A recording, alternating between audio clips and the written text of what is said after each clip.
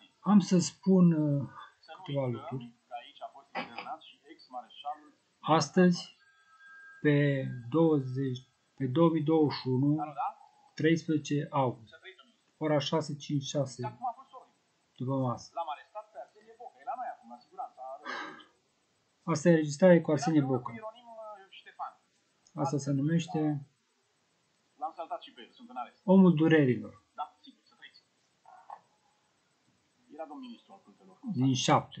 Avem Sfântul și Omul Cavernelor, Omul Durerilor, Botezul Lacrimilor, Liturghia Cerească de la Sâmbăta, Primii pași pe cărarea Împărăției, Suișul Muntelui, Taina Iubirii. Domnule comisar, Ce vreau eu să ce am spun avut de spus, am spus.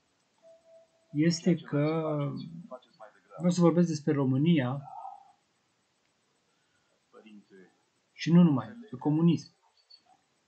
În 1989 a căzut comunismul în Europa, aveți în întreaga lume afară, afară de Asia.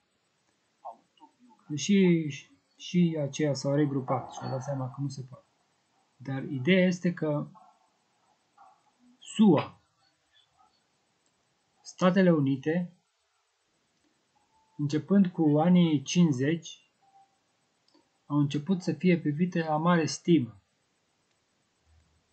Și cu timpul a tot crescut, deși ei au început să o ia pe ulei și ei cu hippie, cu treburi, au, și au făcut dogma bit într-un roman care voia să arate pe Biblie, pe drum al lui Jack Kerouac și a făcut propria Biblie.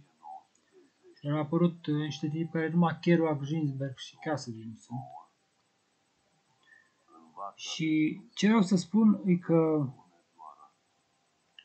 e că America a salvat lumea.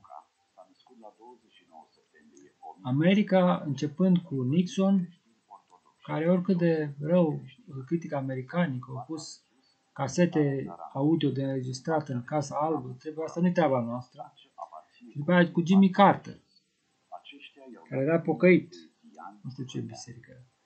Și să nu uităm, Nixon a venit în România, Carter a venit în România, mi se pare, în anii 70. Uh, Așa am ajuns noi să ne împrietenim cu americanii și cu chinezii în același timp. pe Dumnezeu, Uh, oamenii Ne-au încurajat americanii încă din 65 și de înainte să ne pocăim ca stat, să dăm drumul la închisori, pentru că să nu uităm că oameni ca Arsenie Boca și alții se băteau cu comuniștii, comuniștii credeau că o să câștige, de-aia îi ucideau și îi băteau și îi chinuiau, chideau, Dumnezeu le-a făcut terorizau. Zidirea Și ce vreau să zic e că un stat ca America, încă din anii războiului și dinainte, întotdeauna a fost pentru Dumnezeu și după aceea, cu ajutorul Americii, ajutor uh, economic, politic și ceea ce îi, cultural, tot a fost pentru Dumnezeu, pentru credință în lume. Deci, asta înseamnă o mie de ani de binecuvântare, o mie de generații, nu de binecuvântare, pentru America.